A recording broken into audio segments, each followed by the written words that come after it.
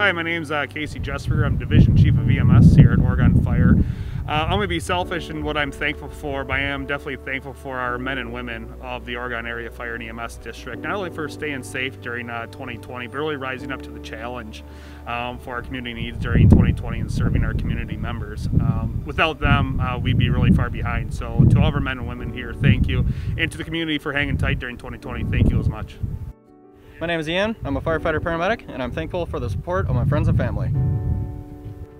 Hi, my name is Maddie, and I'm an EMT here at Oregon Fire and EMS, and I'm thankful for a little bit of warm weather before we get hit hard with snow. Hey everyone, I'm Tony. I'm a firefighter EMT with Oregon EMS. I'm thankful for friends, family, and good health. Hi, my name's uh, Logan Schultz. I'm an intern here at Oregon Fire Department, and just want to say I'm thankful for uh, all the blessings God has given me this year, um, regardless of the COVID 19 pandemic. Um, the opportunity to work here and go to school and uh, do uh, the job that I love. All right, my name is Brandon Schultz. I'm a firefighter paramedic intern with Oregon Area Fire and EMS. I'm thankful for friends, family, and good health and the opportunities I've been given for this internship.